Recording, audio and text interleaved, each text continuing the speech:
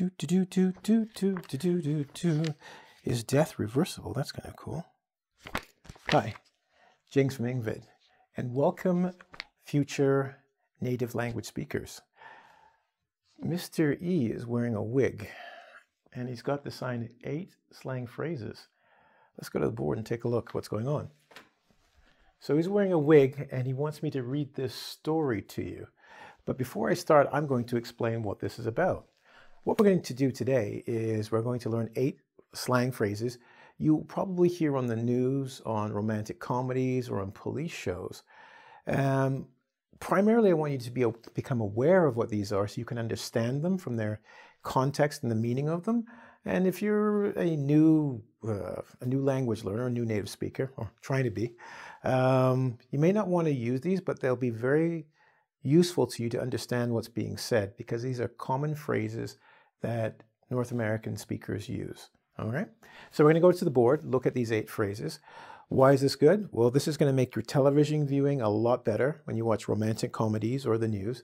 It'll also help you on the streets when you hear people just say these things casually. You'll go, okay, I know what they're talking about. And as you get better in English, you might want to start using some of these. Cool? All right, let's get started. Let's not hold you back from your learning lesson. So Story, E, you want me to read this? Okay, and you're going to explain why you're wearing a wig. It seems he's doing it to show the crazy woman. I don't know, let's just read it. So, one day when Mr. E was walking down the street, a beautiful woman came up to him out of the blue and made a pass at him. Oh, that's interesting. Out of the blue, made a pass. Okay. Seems we're supposed to pay attention to these things in the blue. Okay. Mr. E thought she was tripping because she said he was the best looking worm she had ever seen. Okay. So Mr. E thought she was up to something because she was a nervous wreck. It turns out she was a crook. She demanded Mr. E's wallet, saying, Hand it over. Mr. E thought he was a goner, so he handed it over and ran away. Dun dun dun dun dun. The end. Well, the story seems like he's a bit of a coward. A chicken. Walk, walk, walk, walk, walk. But let's go to the board and take a look at what he's trying to get to us. So the wig is because of the woman, right, E? Okay, got it. That's not your real hair. You're not going to be going to become Mrs. E or anything like that. The first one we have is out of the blue. Okay, that's a, and that is a phrase, an idiom. And what it means is think of the sky. Blue sky, if something fell from a blue sky onto your head, ow, that would be out of the blue. And it means from nowhere. Unexpectedly, you could say it happened unexpectedly. So something out of the blue is something that happens unexpectedly. The guy gave me a million dollars out of the blue. I didn't expect this. It was unexpectedly. Next, made a pass at him. So she came out unexpectedly, first one, and made a pass at him. Well, if you play football, and I mean the American kind, you know what I'm saying?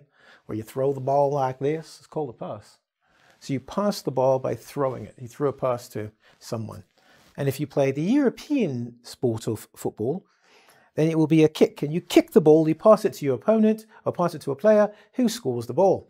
And it means to throw something at someone. But that's not what it means here. If someone makes a pass at you, it means they are flirty with you. They're like, hey, how are you? Flirting. And if they make a heavy pass, they could be strongly flirting at you. Okay? Okay, so made a pass at him. Mr. E thought she was tripping. Now this is strange because we have an apostrophe, and I don't know why we have it. Actually, I do. When you have an apostrophe, it means something's missing. Now, usually there's an English word, and it's called tripping, and it has a G on it, okay? And that G indicates like about to fall over because of something. This is different because it is slang, so when you see that, it's a different message. Tripping in this case means not in your right mind or mentally ill. It also can mean not cigarettes. Okay? if you're a little older, you know what I mean. Some people can be tripping because they're using narcotics and it's not alcohol. So she's tripping. She is mentally ill. So he thought she was mentally ill. That's a kind of a serious thing, right? Especially because she said he was good looking or something and flirting. Now, why was she doing this? He said because she, he was the best looking worm she had ever seen. He has issues, self uh, self confidence issues. He's a good looking guy. Look at him. but clearly, he didn't think he was the best looking worm that she had ever seen. He thought she was up to something. Now, when somebody is up to something, we think they're doing something suspicious or something that's not good or right. So if I think you're up to something, I think you're doing something that's not good. I'm suspicious. I'm questioning you. Okay? So because she thought he was the best looking worm, he thought she must be up to something. Next, she was also a nervous wreck. Okay, well, that helps. Just because someone gives you a compliment doesn't mean you're crazy. But if you're also nervous and you're saying, you're the best looking worm I've ever seen, I would think something's not quite right here. So a nervous wreck is when somebody's very anxious, a little nervous, too much. Nervous wreck, okay? It turned out, or it turns out, she was a crook. Well, a crook when we say crooked, something's crooked, it's not straight. And not straight means criminal. So she was a criminal. Dun, dun, dun, dun. So this complimenting woman was really a criminal. She demanded Mr. E's wallet, saying, hand it over. Now, this is my hand. And just, just pretend this is a table. When you hand something over, it means to give. Give it to someone else on the other side. So if I say hand over the, the water, give it to me. But in this case, she was a crook and she demanded, see, she didn't ask, to hand it over, to take out his wallet and give it to her. I don't think I got a wallet. I'm kind of poor. Let me see. There. Cha-ching! I got E's wallet. So hand it over, that means give it to her, but she demanded, so it's not polite. If someone says to you, hand it over, it's not usually asking you in a polite way. Okay? So don't use it and think it's okay, like hand over the cookies, hand over the milk. It's usually asking someone in an aggressive way to give it to you. And finally, E thought he was a goner. Well, that makes sense. If someone's a nervous wreck, they're a little bit too nervous and anxious, you find out they're a criminal, and then they say, give me your wallet, you probably think they have a gun. And if they have a gun, you probably think they're going to kill you. If somebody says, I thought I was a goner, it means they thought they were going to die or something bad was going to happen. So if somebody has a heart attack, I go, oh, I thought I was a goner. I actually thought I was going to go away to heaven, ah, being a goner. Okay? And then he said he ran away because he's such a brave guy. Yeah, my hero. and he said, the end. So we don't even know. We know he gave away his wallet and he ran away. But at least now we understand this story that we started with, with many, actually, we have eight um, idioms that you may not have known or phrases. And now we have an opportunity to go back and see how well you've learned them because I've explained them to you. And when we come back from the board, I'm going to erase all of our phrases and I want you to try and tell me what should be in here in place, what would be the regular English. And in this way, you'll have one, the visual of slang, and two, how it turns into normal language and how you can probably use it in your own life. Cool? Are you ready? Well, let's come back to the board. And we're back. And as I said, oh, I got the wrong marker. I'm going to use black. We did the slang terms, and I want to make quick mention of something. Slang is cool, and it's good for you to understand because a lot of times, what, what is slang? It's shortened language. Uh, people use it because it communicates an idea faster than saying the whole sentence. Uh, and it's kind of cool, better than being so professional all the time. But please keep in mind when we say things like tripping, right? I gave you the example tripping can be on drugs. You wouldn't say if somebody was actually really mentally ill, uh, they're tripping, or there's another one I'm going to show you later on. In when I say polite company, it's something, if someone's mentally ill, you say they are mentally ill, they're depressed or something else. Uh, people may say this though, and this is why I'm teaching this to you, if you're in a bar situation, or they might say it on a television program. And just because they're saying it doesn't mean you should, I'm going to say emulate, but which means copy it. So keep that in mind. It's for you to know, so when you're watching TV programs or people are speaking to you, know what they're saying. But context is very important. If someone's saying it to you in the bar, it doesn't mean you should say, hey, her, her uh, brother's tripping in a mental hospital, or he's not, well, the other one I'll teach you shortly. but it's, when they say it to you, you can kind of go, I understand. I'm not going to repeat that, but I understand. Cool? All right, so my public safety uh, announcement is done, my PSA. Let's go to the board and see how well you learned what I've taught you earlier on. Let's start over here. Mr. E, okay, so one day Mr. E was walking down the street. A beautiful woman came up to him and what? Was out of the blue. So what does out of the blue mean? That's the key.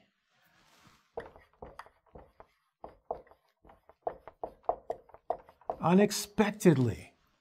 He didn't know what was going to happen. It wasn't planned.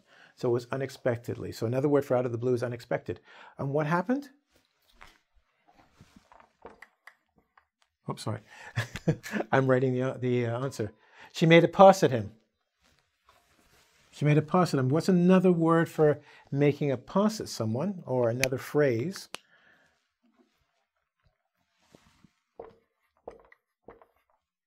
Uh, was flirtatious, but I'm saying very flirty. she was very flirty with him. That means she was like, oh my gosh, ooh, oh, you're so amazing. You're so great. So when someone flirts with you, which is the verb, right, it means they say you're very attractive and they're very, very, mm, I don't know, what's the word? They want to show their interest in you. Mr. E thought she was what? Now, this is what I was explaining at the beginning of the lesson or this segment of the lesson. Right? We said, oops, tripping. And tripping in this case was mentally ill. so I'll go over that once more. If someone's mentally ill, in a non-slang way, say they are mentally ill. If they have psychosis or they have to have a psychiatric treatment or see doctors, call them mentally ill. Um, and I told you another thing for tripping was for drugs. If someone's on Ill illegal or illicit drugs, or uh, they could be on legal drugs, but they have too many, they could be tripping, meaning they're not in their right mind at this time. And tripping can also be angry. Are you tripping? Are you crazy? Crazy and angry in that way. Okay? So he thought she was mentally ill because she came out of, out of, the, out of the blue unexpectedly. She was very flirty from nowhere. So he's going, okay, I think you're mentally ill. Okay, so you see, was best because she said she was the best looking woman she had ever seen. So Mr. E thought she was up. Was what? What was up to something? What's another thing? Okay. For up to something is doing something suspicious. So I'm just going to write this over here because I don't have any room. Suspicious. She was very suspicious. So let me clean that up a little bit more because I want you to be able to read what I write. She was doing something suspicious.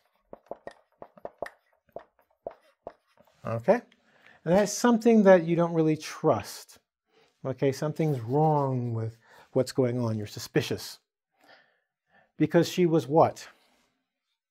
A nervous wreck, right? And if she was a nervous wreck, what does that mean?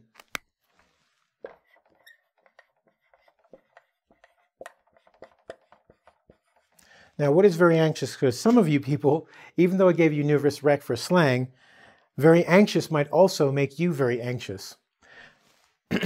when you're anxious, it means you're nervous. Nervous is okay. You get nervous probably when you're trying to speak English to people, right? You're there now, oh, will I remember the words? Will I get the order right? Is the grammar correct? I get it. I get nervous doing videos sometimes. When you're a nervous wreck, it's different. Because when you're nervous, you can still function, you can do something. I may be nervous now, but I can still teach this lesson. If I'm a nervous wreck, I'll be like, and I won't be able to perform or do anything. And if you're a nervous wreck, you won't be able to do anything. So when you're very anxious or too anxious, you can be a nervous wreck. Cool? All right. Now, because she was anxious, you know, she was too nervous and she was too nice. Those two things don't go together. Like, why are you so nervous and being so nice? A little bit makes sense. Too much is not good. Because it turns out she was a, we said crook. And I said crook is not straight. So you have something that's straight and when it's bent, it's a crook. And I should have explained in English, if someone's a straight arrow, it means they do the right thing. So when we say someone's straight, they do the right thing or they're not gay or homosexual. That's what straight means. So when something's bent, it means it's not what we expect or not normal. All right?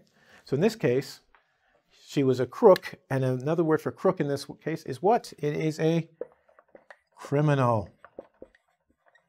And we all know what criminals are someone who breaks the law. Right? Next, she demanded Mr. E's wallet, saying, What did we say? Hand it over, right? Hand it over. Once again, I explained what it means, so I'm going to give you a second to think about it. That's right. Now, I have to explain something because what I am going to write is not exactly the same. They have similar meanings, but if somebody says hand it over, usually it's not polite, right? It's usually more of a demanding form. If someone says give it to me or you can give it to me, it's much more casual, right? Oh, you got a new watch? Give it to me. Let me take a look at it. You can say hand it over, but usually hand it over in this case is a little bit stronger, right? Hand it over. It's not as polite as can I have it or can I look at it or can you give it to me? So I'm saying that to you in case you think, oh, hand it over, give it to me, or equal. If you say hand it over, people will think you're being a little bit rude, all right? But it is slang and you should know what it means because it means they actually want it and they want you to give it to them probably now.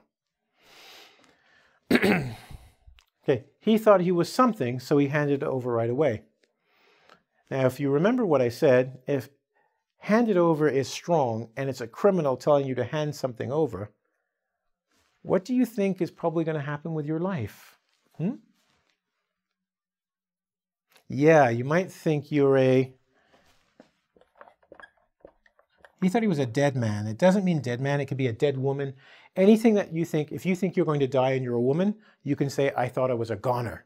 If you're a guy, you could say, I thought I was a goner. If your dog is sick and you said, I couldn't get into the hospital, I thought he was a goner, it means I think they're going to lose their life. Okay? So it's not losing a race or a game. So don't think if you play a soccer, you're like, well, I thought we were goners. It's like, no, they weren't going to shoot all of you if you lost the game. But if you feel that you're a goner, it means you feel that your life will probably be over in any situation, right? From a car accident, heart attack, operation. You could be a goner if there's not a good doctor, right? Cool. So now that we've done this and you've gone over it, that were eight diff- those were eight different phrases or idioms, right? And as I said, most of these you're going to find will be in movies, romantic comedies, or people will say them on the street, right? Um, so I don't expect you to use them as per se, so in every conversation, but I want you to be aware of them so you can understand the things that you hear around you a little bit better. And as you get better, then you can use them every once in a while. Now, as always, I have a bonus for you. So what I did was I picked four of the ones that are most commonly said that you will most commonly hear, and I gave you more slang, but similar. So in this case, out of the blue, as I said, if you can remember out of the blue, think blue sky, something falling down. If you come out of nowhere, imagine if you are sitting there at the screen watching right now, and I go, boo! I came out of nowhere because for you, there was nothing there, and suddenly I was there. So these two are very similar. He came out of nowhere. The car, I was driving and the car came out of nowhere. I didn't see it. It just, just appeared. Tripping. I was explaining to you that, and I'll just put this one. Remember, if someone is seriously mentally ill, please don't use this. It's not funny. Um, you can use it for, and, and people will, and it's not that they're bad people. They might say, my boss was, okay, in this case, not playing with a full deck. You could be mentally ill because when you have cards, there are 52 cards. And if you only have 49, it's not a full deck. It means everything's not there. That's one thing for talking at a bar or talking or listening to it on television. It's another thing to go out in public and casually say it. So be careful with this. Know what someone means. I suggest you don't use it in public. So another word for tripping. And this isn't, this isn't drugs. In this case, somebody is mentally ill or you think they're crazy, right? And I say boss because most of us think our bosses are not playing with a full deck because they make suggestions and you're like, that's just kind of crazy. You don't literally think they're crazy, but you think that idea might be crazy. And if they're tripping, you think they've got bad ideas and maybe they're crazy. Make a pass at someone, you can also say hit on someone. And I don't mean punch, all right? So it's not a case where someone's punching you in the face, you go, oh, he hit on me. That is when you call the police. No. Hitting on someone is similar to making that pass in sports. You make contact because when you hit on someone, you make contact with them, not touching, but you come up close to them and or you try to bring yourselves closer together with comments, right? So you can hit on someone over Zoom or Facebook. So you don't have to be literally in the same room, but it would be you make comments that they know that you are interested in. So we can say make a pass at somebody or hit on them. Nervous wreck. This is why I explained this one again when you are so nervous you can't do anything because when you're falling apart, and this can lead to someone being really mentally ill, when they're falling apart that they can no longer function. This will happen with divorce, death, loss of job and income, or loss of place to live. So they're falling apart. It means, oh, sorry, and any serious relationship, so it doesn't have to be just marriage. It means their whole world is falling apart and they don't know what to do, so they end up doing nothing. So if your girlfriend says, My world is falling apart because you left me, she's saying, I can't do anything. I just want to stay in bed, maybe and eat ice cream. Or it could be a guy saying the same thing, and I can't get out of bed anymore. They're, they could be depressed. All right? So when you hear these things, take them seriously. All right? So now we've done the lesson. Of course, I have to give you homework. And what I want you to do for your homework is this story is a shortened version of this story, but this story has all of the explanations. I want you to do it again, but put the slang in. Now, for each one, and there are one, two, three, four, you can get 250 points for each correct answer you get. Fill it in the comment section below, whether it be on engVid or on YouTube or wherever you're watching this. And give it a thumbs up if they get the answer right. So some lucky viewers will get 1,000 points, which is pretty cool. It means you've learned your lesson. And don't forget, I want you to go to engVid. And where's that? www.eng, as in English, vid, as in video.com, where there will be a quiz for 10 more and other lessons that I've done on vocabulary, grammar, conversation, listening, and whatnot. And before I go, I've got a quote for you. it has to do with slang. Uh, I didn't catch the, the person's name who did the quote, so in future I'll tell you who so you can check it out for yourself. But because this lesson was on slang, the quote goes like this Slang is a poor man's poetry. I want you to think about that. Because what we do is we take language, we shorten it to give an idea, just as poems are used to convey great big ideas, beauty and wonder, but in a short, you know, short paragraph. And it gets so much that it can affect our hearts. Slang is to affect your mind, right? And as I said, future, future native language speakers, that's our job here and that's your job. Do your homework and I'll see you soon.